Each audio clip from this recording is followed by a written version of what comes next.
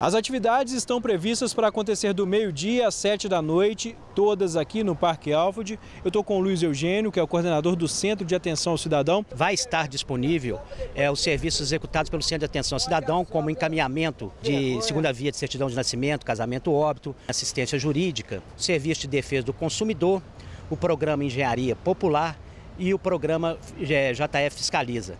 Todos esses serviços vão estar disponíveis aqui em frente ao Parque Office para que as pessoas possam acessá-los é, e poder tirar todas e quaisquer é, dúvidas a respeito.